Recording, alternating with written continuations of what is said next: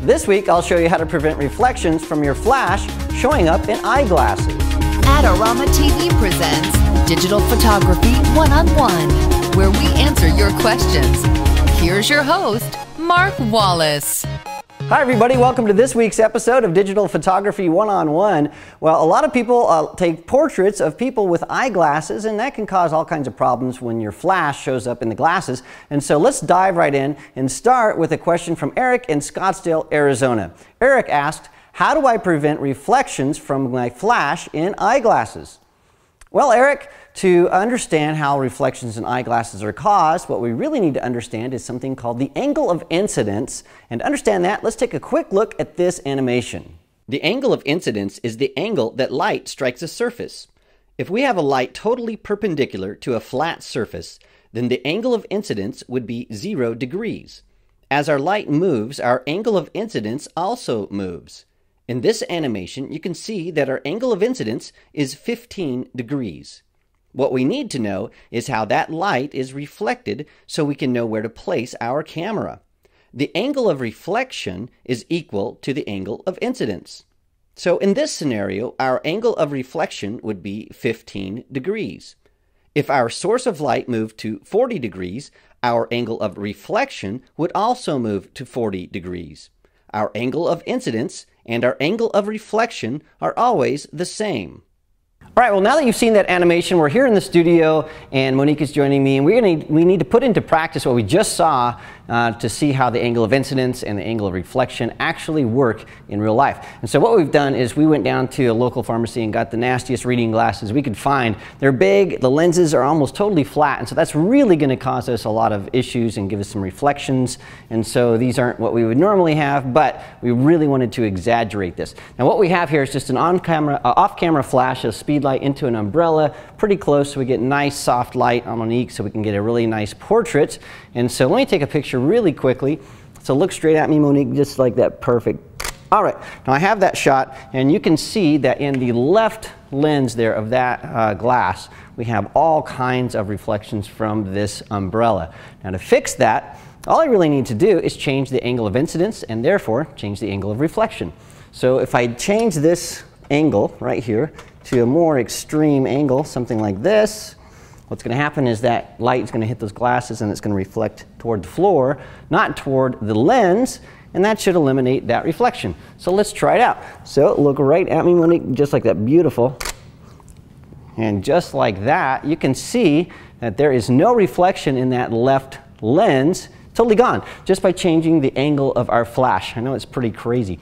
Now that works with glasses like this that are just sort of flat and nasty, but what happens if we have some cool looking glasses? So let's trade these out. So these are more realistic. These are glasses that you might actually find somebody wearing. These are convex.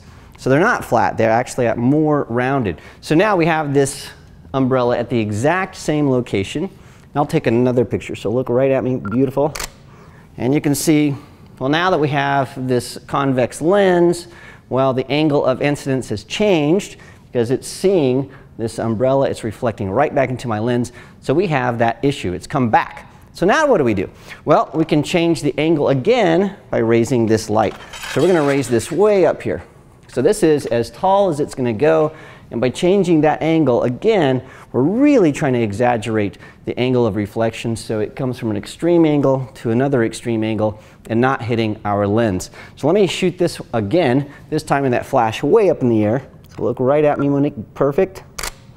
Okay, now when we look at that, you can see that again, the reflection is gone, but something horrible has happened.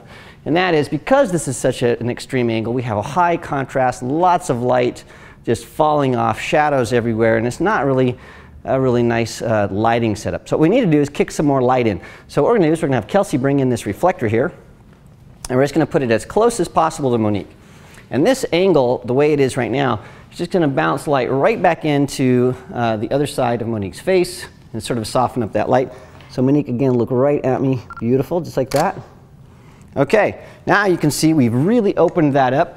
Things look really good. Now what we could have had and we didn't have on this one, sometimes you'll get even more issues because this, the angle of reflection can actually cause some uh, uh, highlights to show up in the glasses. And then if you have that, all you have to do is change the angle of the reflector and that will still bounce light into the other side of your subject's face, but it won't bounce light, bounce light right onto the glasses. And so you can just sort of change the angle of your reflector and you have some more uh, options. So let's just take a shot of this and you'll see it's looking very similar to what we had before. Beautiful. Okay, now you can see there, by changing that, we actually added a little bit of reflection on this side. So it really is important the angle that you put your reflector because you can either add or subtract light, but you can also add or subtract some of these reflections in glasses. Well, there you have it. The angle of incidence and the angle of reflection can add up to either give you crazy reflections or to eliminate them altogether. So if you have reflections in uh, glasses, the first thing you need to try is just changing the angle of your light. If that doesn't work, you really need to extremely change the angle by raising it or lowering it, and that'll get rid of that glare. Well, Eric, thank you so much for the question this week. Now, don't forget, if you want to learn a little bit more about basic lighting setups or shooting in a small studio, we have two other episodes that we've done here on Digital Photography One-on-One, and that is episode 206 and episode 208. So make sure you check those out because it'll sort of uh, fill out some of the information we talked about today. Well, if you're like Eric and you have a question about uh, studio lighting or photography or photography gear, don't hesitate to send me a question to askmark at adorama.com and I might just use it on an upcoming episode. And as well, don't forget to subscribe so you don't miss a single episode. We've got videos coming out every single week. And also check out the Adorama Learning Center because we've got tons of articles and videos and all kinds of good stuff for photographers, so check it out. Well, thanks again for joining me. I'll see you again next week. This episode is brought to you by Adorama TV. Visit the Adorama Learning Center where you'll find photography tips and techniques, links to the gear used in this episode, and related videos. For all the latest photography, video, and computer gear, visit Adorama.com. And the next time you're in New York City, visit our store located on 18th Street between 5th and 6th Avenue. Well, thanks so much for joining me this week. We had a lot of, uh, no. Well, Eric, something. And don't uh, fire bad. I am Frankenstein.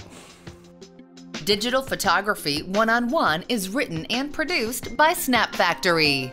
For more information about our workshops, visit snapfactory.com.